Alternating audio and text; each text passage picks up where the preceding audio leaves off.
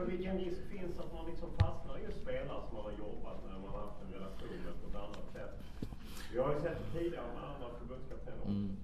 Nej men det är klart att du, du, jag tror att jag tror att poäng, jag, jag, tror du har en poäng i att man ska vara medveten om det såklart. Det tror jag man har en poäng Men däremot så tror jag inte att...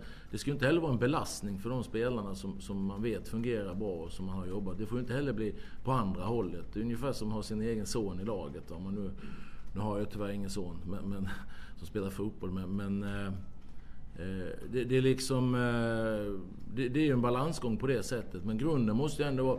Och sen är det ju det kan jag väl säga, jag lyssnar mycket med mina kollegor liksom, vad de säger. Och, och, och att, att de, de liksom tycker också, framförallt då Peter i första hand då, men även med Lasse Lagerbäck och Mats Elvendal, vi som jobbar närmast fotbollen, att när vi kommer till laguttagning och trupputtagning. Så att jag får liksom deras bild av det också. Så, så man känner verkligen att man testar saker och ting från olika håll. Då. Men, men eh, det, det, är Ja, det kanske finns en risk men jag, jag, jag tycker i det här fallet att de här spelarna jag tagit ut har jag, det har varit ganska självklara val för mig så här långt. Men kan det inte vara kanske naturligt när det, jag menar det blir ganska kort om tid både för dig och, och Peter att få ihop det här att man ändå går till, eh, i viss, i viss mån till spelare som man, eh, som man vet exakt vad man har.